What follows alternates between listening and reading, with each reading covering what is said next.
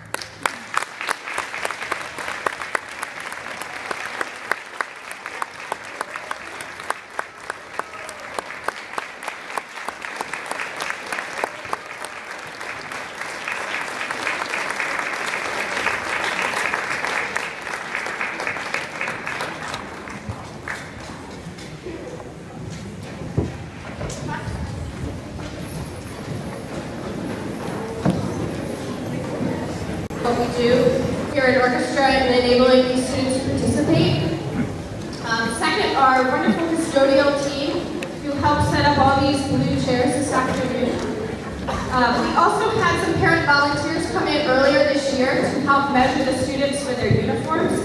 Kelly Allen, Tracy Valorizzo, Melanie Rodriguez, and Tammy Todd. Thank you for your help for getting the students here tonight, for renting them their instruments, for taking their instruments to the store to be fixed. All those things, your support is greatly appreciated. And now we have Symphonic Orchestra, we have Rashida to tell us about